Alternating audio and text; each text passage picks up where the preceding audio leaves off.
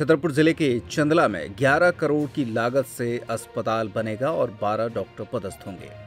अनुसूचित जाति उप योजना अंतर्गत चंदला को प्राथमिक स्वास्थ्य केंद्र की जगह लगभग 11 करोड़ की लागत से 30 बिस्तर का सामुदायिक स्वास्थ्य केंद्र का निर्माण होने की प्रशासनिक स्वीकृति मिलने के बाद शुक्रवार की शाम SDM Devendra Chaudhary Satya Prakash Shakiwar, BM love कुशनगर, तहसीलदार चंदला दिलीप जड़िया, सीएमओ अजय अग्निहोत्री और स्वास्थ्य विभाग सागर के कार्यपालन यंत्री अरविंद कुमार गौर वीरेंद्र अहिरवार सब इंजीनियर के साथ सामुदायिक स्वास्थ्य केंद्र, बिल्डिंग निर्माण के लिए जगह देखने चंदला पहुँचे।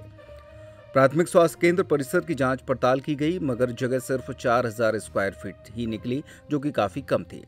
सामुदायिक स्वास्थ्य केंद्र, बिल्डिंग निर्माण के लिए पाँच एकड़ ज़मीन आवश्यक थी, जिस कारण कार्यपालन यंत्री ने एसडीएम से अन्य जगह ज़मीन अलॉट करने की बात कही।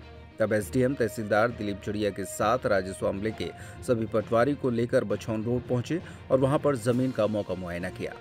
वहीं लवकुश नगर एसडीएम देवेंद्र चौधरी ने बताया कि स्वास्थ्य व्यवस्थाओं को बढ़ाने के लिए नई बिल्डिंग की आवश्यकता है।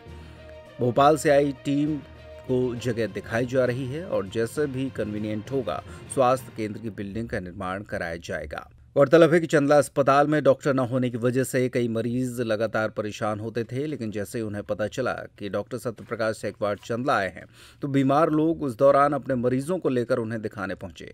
वहीं एक नवजात शिशु को लेकर महिला भी उपचार के लिए पहुँची, जहाँ डॉक्टर द्वारा नवजात शिशु का उपचार किया गया।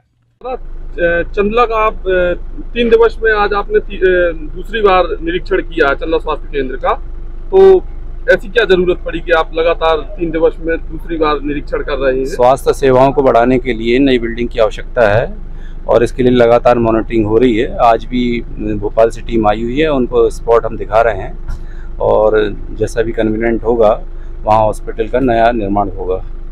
सर कहाँ चिन्हित की जा रही है जगह? अभी परीक्षण किया जा रहा है। प्राथमिक स्वास्थ्य केंद्र होगा कि सामुदायिक स्वास्थ्य? सी एस सी होगा। सामुदायिक। धन्यवाद।